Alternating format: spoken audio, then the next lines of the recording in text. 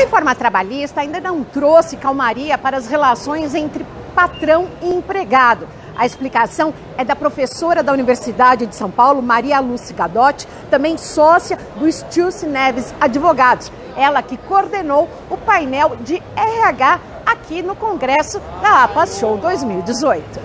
Infelizmente não. A gente está vivendo uma época ainda de muita insegurança jurídica. Ah, por quê?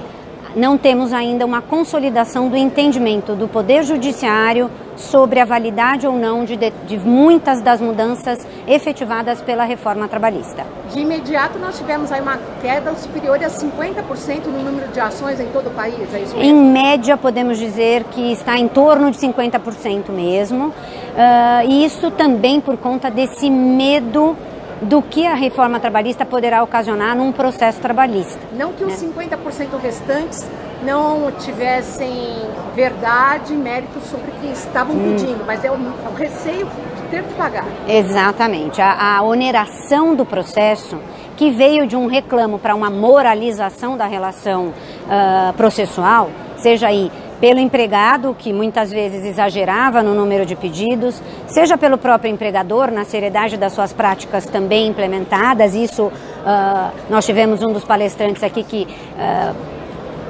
reiterou bastante isso, ele uh, firmou um entendimento de que tem que ter uma parceria nessa relação de trabalho e não mais essa relação beligerante ou de ganha-ganha, um tirando proveito do outro, mas é fato sim que a oneração do processo mais hoje com uma visão para o empregado do que para o empregador, essa é uma coisa que as empresas ainda não se atentaram, que o custo do processo não foi incrementado apenas para os empregados. Antes, o empregador não pagava honorário de sucumbência e a partir de novembro ele passou a pagar também. Então, ele também pode ser condenado a pagar honorários de sucumbência para o advogado do reclamante, se a empresa perder total ou parcialmente a ação. Durante a última palestra, o último painel do Congresso lá passou 2018, coordenado pela senhora, a senhora citou ao início que a reforma trabalhista gerou e gera uma insegurança monstro. Mas para o empresário também, por quê?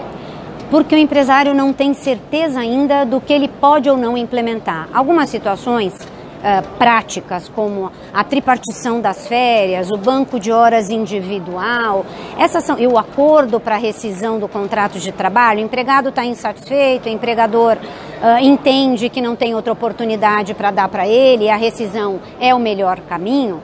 Logicamente com todos os pesos que foram criados, o empregado ele é, entre aspas, prejudicado, porque ele perde seguro-desemprego, perde um pedaço da multa rescisória e do, do próprio fundo depositado, é uma questão aí, essas três, esses três pontos, por exemplo, eles são, uh, eu diria assim, patentes, não gera nenhuma insegurança jurídica, foi muito bem recepcionado uh, pela sociedade como um todo. Sociedade que eu digo, legislativo, judiciário uh, e o empresariado barra proletariado, se podemos chamar assim.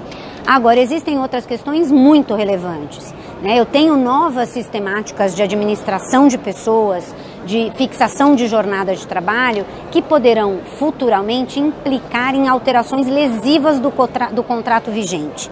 O cancelamento da, da, medida provisória 808 veio a trazer mais insegurança ainda, porque ela dizia no seu escopo que aquela regulamentação se aplicava a todos os contratos de trabalho, ou seja, aos vigentes e aos que fossem uh, instituídos a partir daquela data. Hoje nós não temos mais isso. Em que pese tem a promessa aí de um decreto regulamentador, é fato que hoje a gente está só com a reforma. E a reforma não nos dá essa instrumentalização, pelo contrário. O legislador ele silenciou na alteração do artigo 468 da CLT, que veda alterações lesivas ao contrato de trabalho, ainda que o empregado com ele concorde. Então, esse é um ponto bastante relevante que as empresas têm que ter muita cautela na hora de verificar se é para aplicar ou não qualquer modificação legislativa trazida pela reforma.